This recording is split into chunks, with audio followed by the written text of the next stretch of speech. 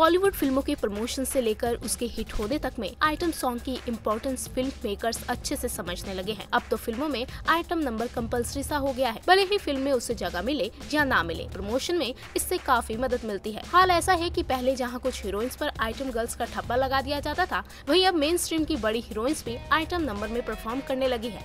आपको बताते हैं बॉलीवुड की सबसे महँगी आइटम गर्ल्स के बारे में। सनी लियोनी। आइटम नंबर के लिए सनी लियोनी की सबसे ज़्यादा डिमांड है। सनी शाहरुख खान जैसे सुपरस्टार की फ़िल्म रईस में भी आइटम सॉन्ग कर चुकी हैं। एक आइटम नंबर के लिए सनी चार से पाँच करोड़ रुपए लेती हैं। प्रियंका चोपड़ा, प्रियंका एक आइटम सॉन्ग के लिए तीन से चार करोड़ रुपए लेती हैं और सिर्फ़ एक ग्रेड बड़ी फ़िल्मों में ही आइटम सॉन्ग करना पसंद करती हैं। कैटरीना कैफ, चिकनी चमेली और शीला की जवानी जैसे आइटम सॉन्ग से कैटरीना कैफ आग लगा चुकी है वो एक आइटम नंबर के लिए करीब तीन करोड़ रुपए लेती हैं और सिर्फ़ अपने क्लोज फ्रेंड्स के रिक्वेस्ट पर ही फ़िल्मों में आइटम सॉन्ग करती हैं। दीपिका पादुकोण, कैटरीना की तरह दीपिका पादुकोण भी अपने दोस्त, निर्माता, निर्देशक या हीरो के लिए आइटम सॉन्ग करती हैं और एक आइटम नंबर के लिए तीन करोड़ रुपए लेती हैं। जैकलिन फर्नांडिस बागी टू में जैकलिन फर्नांडिस ने एक दो तीन आइटम सॉन्ग किया था, जो खासा पसंद नहीं किया गया, लेकिन वो चर्चा में खूब रही। एक आइटम नंबर के लिए जैकलिन करीब दो करोड़ रूपए लेती है। इंडिया बॉलीवुड वायरल की रिपोर्ट।